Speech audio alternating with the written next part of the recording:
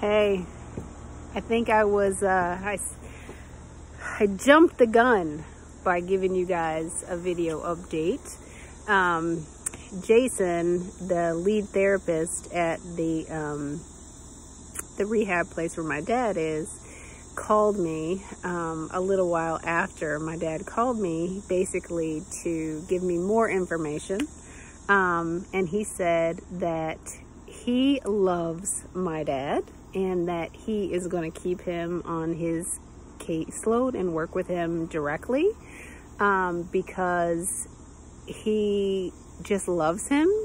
He loves the fire in his eyes. He loves how he's working with him and that he got, um, he said it was like a night and day difference between yesterday and today.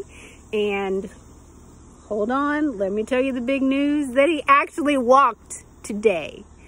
Uh, yesterday, they got him up on the parallel bars and had him standing up, you know, outside the parallel bars. And today, they got him on the inside and said, okay, we're going to walk today. Walk, you know, and my dad was like, mm, I don't know if I can do this, but he did it. He walked like 10 feet um, back and forth three times. And so they said tomorrow they're going to try for the walker. And there's not positive that he can do it but um, that they're going to try and, you know, if they're not successful tomorrow, they'll definitely try again on Monday.